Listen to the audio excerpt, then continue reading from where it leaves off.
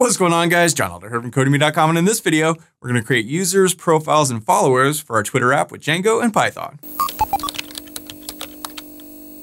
Okay, like I said, in this video, we're going to start to set up users, profiles, and followers for our Twitter app. But before we get started, if you like this video, want to see more like it, be sure to smash the like button below, subscribe to the channel, give me a thumbs up for the YouTube algorithm, and check out Codemy.com where I have dozens of courses with thousands of videos that teach you to code. Use coupon code YouTube50 to get 50% off memberships, all my courses, videos, and books for one-time fee, which is insanely cheap. Okay, in the last video, we set up the main website of our Twitter clone. We're calling it Musker. Instead of tweets, we have Meeps, Musker Meeps, whatever. In this video, we're gonna start to set up users, give those users profiles, and allow those profiles to follow each other. Now, we're first gonna set this up on the back end in the admin section so that we can do it manually. And then later on, we'll do it on the actual website so people can actually sign up on the website themselves. But just to get it started, we want the mechanism in place, and that's what we're gonna build in this video. So first thing we need to do is create our super user. You always do that when you create a Django project. We didn't do that in the last video. I saved it for this video. So let's head over to the terminal and let's control C to break out because we had our server running. And here, first we want to migrate our server. So let's go Python manage.py, migrate. And you always do this the first time you create any Django project just to get all the user stuff that comes with Django migrated. Now we need to create a super user. Now I'm using Windows and Git Bash, so I need to use the winpty command. If you're on a Mac or Linux, you can leave off the winpty thing and then just type in Python manage.py create super user, all one word. And it's going to say, what's your username? I'm going to type in admin, email address, whatever, john at and then a password. And then it's going to ask you to type in the password again so that they match and your super user has been created. So now let's python manage.py run server to run our server. And let's head back over here, hit reload, make sure everything's running, looks okay. So now let's go to the admin area. Just type in slash admin here and log in with that username and password you just created. So, okay, this is our admin section. We can see we have users. We only have one. There's an email listed, first name, last name, staff status. We want to, for now, get rid of all of this stuff. We just want their username for now.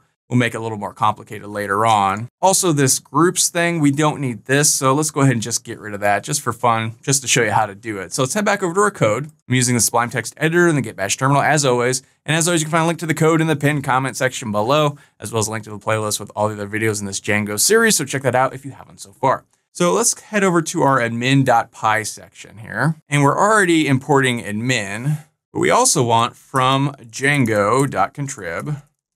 django.contrib.auth.models, we want to import group.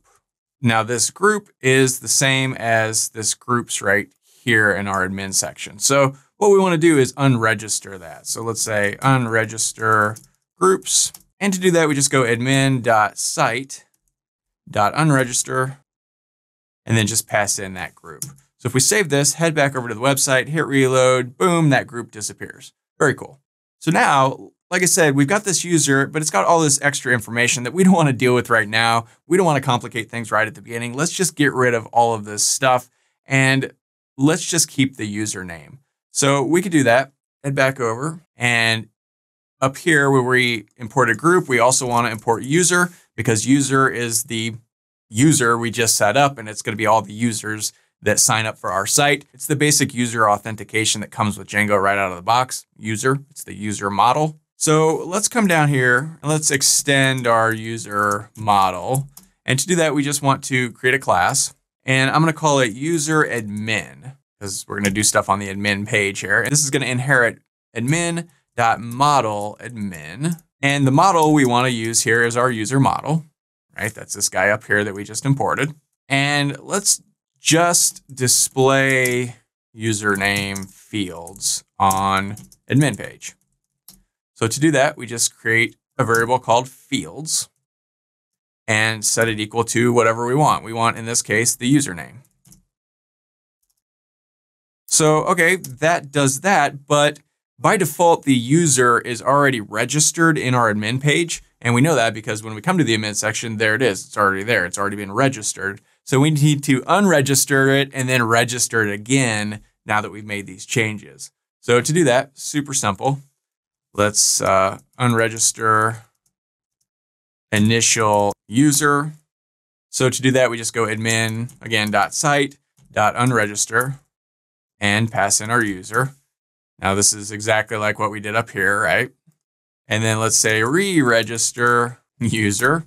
So we just go admin dot site dot register, and then instead of user, we want user and user admin, which we just created right here. Okay, so let's go ahead and save this, head back over here, reload this, and then now when we click this, now it just says admin and it just has the username. So this will make things easier. We don't necessarily have to do this, but I know it's kind of interesting learning how to register and unregister and tweak these things in the admin section. So I thought, hey, we'd spend two minutes talking about it. Uh, so there we go. So we've got admin. Let's create a couple of new users just to have somebody to play around with. I'm going to create Bob, save and add another. Let's also create April, save and add another. Now when we go back to our users, we see there's April, there's Bob, and there's admin. Okay, so we've got some people to play with now. Now we need to extend the user model to add a profile, right? So every user that we have is going to have a profile because, you know, when you have a social media website, you always have a profile page, you have a profile, and you want to be able to follow different profiles, different users. So we need to set up a profile model, so to speak, and extend that to our user model, sort of connect it to our user model. So we can do that. Let's head over to our models.py file in our Musker app here. And right now we don't have anything in there at all. So we need to import our user model because we need to extend it. So let's go from django.contrib.auth.models. We want to import user. And let's create a user profile model. So we're going to create a class. I'm going to call it profile. Notice the P in profile is capitalized. You usually capitalize the first letter of your classes. And we want to import models.model. So here we need to associate this with our user. So let's create a variable called user, and we want to models.one to one field. Now this will associate one user to one profile, one to one, right? One user is not going to have many profiles one profile is not going to have many users. They're each going to have one. So one to one field. And then what are we doing this on? We're doing this on our user.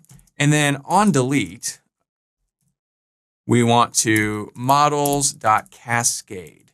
And this just means if a user gets deleted, you want to go ahead and automatically delete their profile too. So it cascades down and deletes sort of everything underneath it, right? So, okay, that looks good. Now, we also want profiles to be able to follow, right? So you want to be able to follow different profiles. So this is going to be a models.many to many field. So profiles can follow many other profiles, right? In this one up here, one user has one profile. But here, one user, one profile might follow many different other profiles. So we use many to many field. Now notice also the capitalization both in one-to-one field and many-to-many field. Each sort of word is capitalized, many to many fields. So M, T, M, F, all capitalized. O, T, O, F, all capitalized. So that's important. Keep that in mind. And we start out with self. And let's just put these on separate lines because there's a few of them. So we want to create a related underscore name. And we'll use this later on to do stuff with this, right? So uh, it's just an easy way to keep track of it in the code later on. So we'll create a related name and I'm going to call it followed underscore by. So when we run a, a lookup, a query to see who the people are following, we'll reference this followed by to see who this user is followed by, right? So that looks good. We also want to create a symmetrical and set that equal to false. So what this means is you can follow somebody and they don't have to follow you back, right? If I followed you and you had to follow me, that would be symmetrical. But we want to set that to false. We don't want that to be the case. We want it to be asymmetrical, right? So I can follow you. You don't necessarily have to follow me. You can, but you don't have to. So we'll set that symmetrical to false. And finally, we'll have blank equals to true because you don't have to follow anybody, right? You can have a Twitter account or a Musker account and not actually follow anybody. That'd be weird, but you could do it if you want. So blank is true. That just means you don't have to follow anybody. So, okay, that looks good. That should do the trick. Let's go ahead and save this. Okay, so we've made a major change to our model. We've added this entire new class. Anytime you make a major change to your model in Django, you need to migrate the server. So let's head back over to our terminal here and control C to break out of here. And to do this, we just go python manage.py, like most commands in Django, python manage.py. And then we want to make migrations, plural. We only did one thing, but we still had to make migrations. So, okay, we've got this little migration. And if we want, we can look at this. We don't really need to come over here to migrations. And there it is at 001. And you could see, you know, it's created the profile, given us an ID, follows, user, many to many, one to one, all the things we just did. It's sort of taken the Python code and turned it into SQL stuff that the database can use. So we've got our migration. Now we need to actually just push the migration. And to do that, we go Python manage.py migrate. Okay, good to go. So let's now Python manage.py run our server again. And let's head back over here and hit reload and see if anything has changed. If we click on admin, nothing has really changed. It doesn't seem like, right? So that's not great. We need to be able to follow people and do all of the things. So we need to import that profile thing we just created into our admin section. So head back over to our admin.py file. Here we go. And here at the top, we want to from.models import profile. And again, that's just this guy we just created, right? So now we can sort of access all of that stuff in here. And we need to say register user and profile. So we need to register our profile. So let's go admin.site.register and then pass in our profile. Now, strictly speaking, this will work. If we head back over here, we see now we have this profile section, but this isn't great because, eh, you know, we add a profile, admin, here's a thing for follows, save and add another one, one for Bob. Okay. Eh. So now we have these things that look a little weird. We have this. When we click on it, nothing has changed here. So this is all very confusing, right? Well, for one thing, let's change this right off the bat so that we can actually read who these people are, right? So head back over here to our models.py file. And inside of our class here, let's define underscore underscore str underscore underscore pass in self. And then we just want to return self.user.username. Now, if we save this and head back over here, hit reload, now it has the actual usernames listed. So, okay, this is getting better, but still, we've clicked on profiles and we've got each of these things. Also, when we created a user, it doesn't automatically create a profile. Now, we're going to want to do that. We'll do that in the next video. For now, we'll just limp along manually creating these.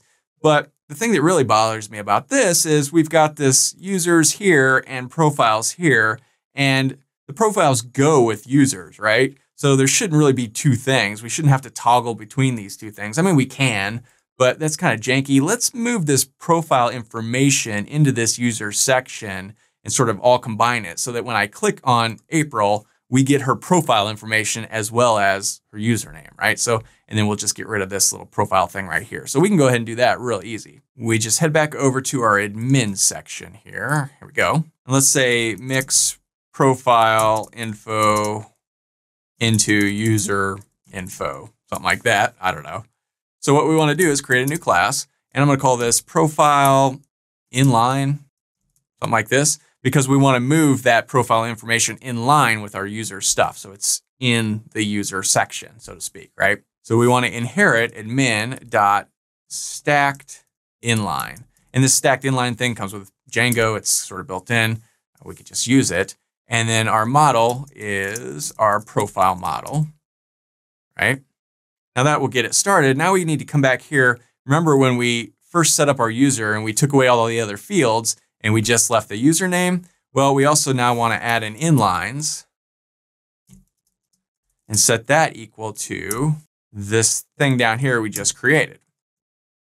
Okay, and now down here where we registered profile, let's get rid of that because we don't want that section showing anymore. So Go ahead and save this, head back over here, hit reload. This thing down here should disappear. Uh oh we've got an error. we've got an error. Profile inline is not defined. Ah, joy. So we need to take this and move it up above this. There we go. Because here we're calling this and this was below it, so it, it couldn't read it. So, okay, that makes sense. Come back, reload. All right, so now when we log in here to our admin section, we have our users. Now, if we click on April, this stuff is added. Okay, so we see uh, we can click on admin, profile is admin, go to April, their profile is April, go to Bob, their profile is Bob. And you can see they don't follow anybody. These there are all the names are listed, but we have to actually click on it and then click save. Now, if we go back to Bob again, you can see admin is highlighted. If we also click April and admin, save. And if we go back to Bob, these two things are things are, are highlighted. So if we want to unhighlight these things, we could do it like that, save and exit. Now Bob doesn't follow anybody, but we've got our users and we got our profiles and everything is set up. Okay, so we are moving right along. We've got users. We can add users on the back end by clicking this and adding them. We can, we can through the back end, if we brought back that profile section down here, for instance, if we came back here and re-registered our profile, we could come back here, like click it like this, and then we could add profiles to new people. We don't want to do that because in the next video, we're going to set it up to where anytime you create a new user, they're going to get a profile automatically. We're not going to have to create one manually by clicking this little add profile thing. Uh, but for now, we've got three users with three profiles. And just to play around, let me re-comment this out. Uh, we're good to go there. And so we're moving right along. So in the next video, we'll automate creating a profile when a user signs up, right? So as soon as you sign up, you'll get a profile and then we'll start to push all of this onto the website so you can actually do it on the website. Uh, follow people on the website, unfollow people on the website, click on your profile, go to your profile page and all that good stuff. Start to look at all that in the next video and it should be a lot of fun. So that's all for this video. If you liked it, be sure to smash the like button below, subscribe to the channel, give me a thumbs up for the YouTube algorithm, and check out Codemy.com where you can use coupon code YouTube50 to get 50% off membership. So that's access to all my courses, over 50 courses, thousands of videos, and the PDFs of all my best-selling coding books. Doing over 150,000 students learning to code just like you. My name is John Elder from Codemy.com, and I'll see you in the next video.